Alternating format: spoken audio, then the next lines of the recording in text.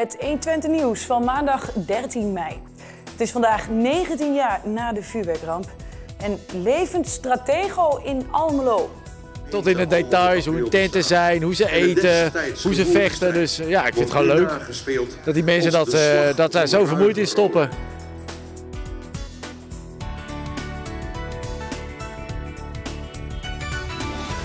Goedenavond. De jongen die met opzet een voorwerp gooide tegen een hoogspanningsmast in Frieseveen heeft zichzelf gemeld bij de politie. Zijn levensgevaarlijke actie was te zien in een filmpje op de website Dumpert. En bij zijn actie kwam een flinke ontlading vrij. De jongen werd op een haar na niet geëlectrocuteerd. Netwerkbeheerder Tenet, die de hoogspanningskabels beheert, wil aangifte tegen hem doen. Enschede herdenkt vandaag de vuurwerkramp. 19 jaar geleden ontplofte in de wijk Roombeek een vuurwerkfabriek SC Fireworks, waarbij 23 mensen om het leven kwamen. Bij het monument op Roombeek werd vandaag de jaarlijkse herdenking gehouden.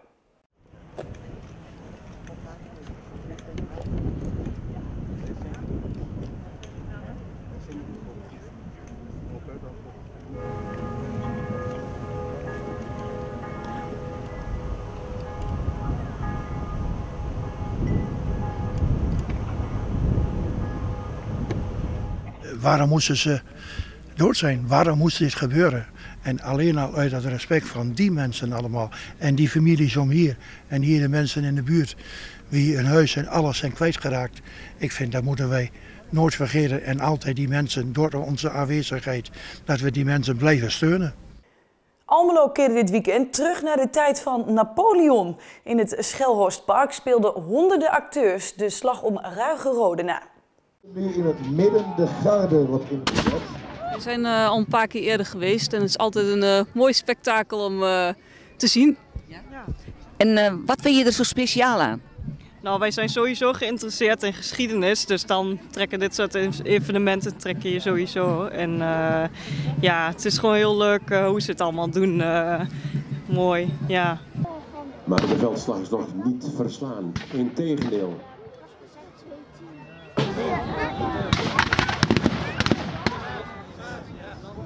De reenactors die je hier ziet, dat zijn uh, deelnemers die uit nou, ongeveer tien landen uit heel Europa hier deze slag naspelen. Ik vind het gewoon leuk om te zien hoe uh, die mensen zoveel mogelijk en zo goed mogelijk proberen de militairen uit die tijd uh, na te doen. En tot in de details, hoe hun tenten zijn, hoe ze eten, hoe ze vechten. Dus ja, ik vind het gewoon leuk dat die mensen dat, dat daar zo vermoeid in stoppen. Dit hebt u al eerder gezien? Ja, we zijn hier al een paar keer meer geweest. Wat, duurt het wat vindt u zo spectaculair en zo bijzonder aan dit evenement? Nou, dat dat, dat toch een stuk van de geschiedenis is en dat mooi nagespeeld wordt. Voetbalclub Neo uit Borne vierde zaterdag haar 100-jarige bestaan. En dat deden ze onder, onder, meer door het beroemde computerspel Fortnite tot leven te wekken. Zo'n 100 kinderen begaven zich met een pistool en drie levenskaarten in het speelveld.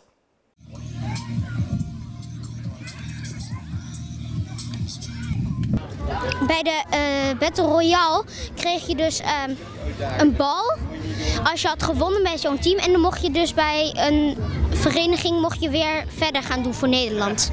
Dat was gewoon leuk met andere kinderen.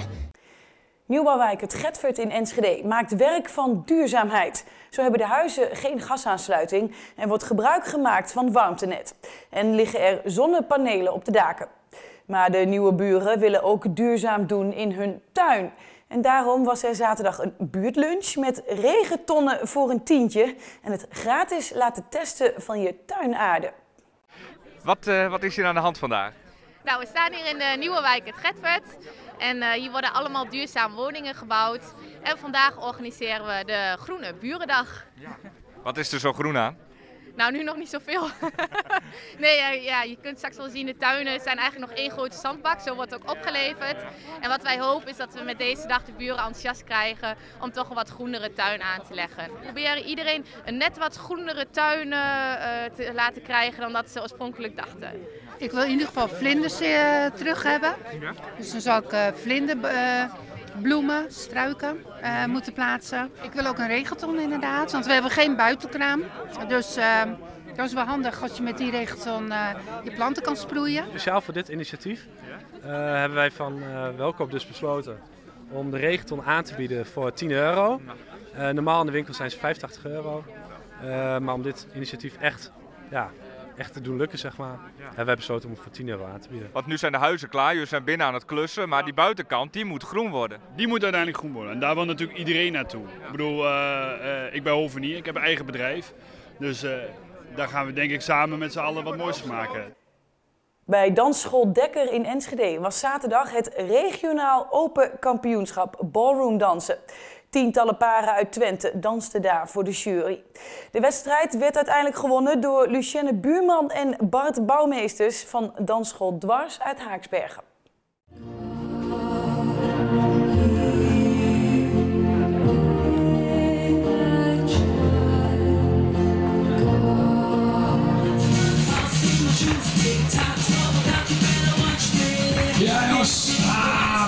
Leuk te worden, ga die stappen. Nou zit het was uw laatste dans in de General Look.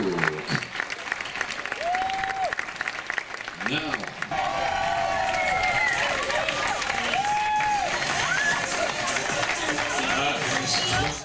En nu? Ja, nu is het uh, doortrainen en volgend jaar weer kijken.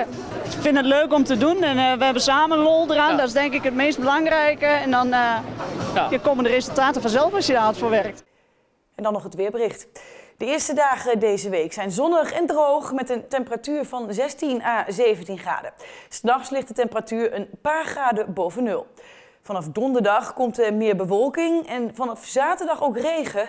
De temperatuur stijgt wel naar 20 graden overdag en zo'n 10 graden s'nachts. En tot zover deze nieuwsuitzending. Nu op 120, jij in de wijk. Een fijne avond.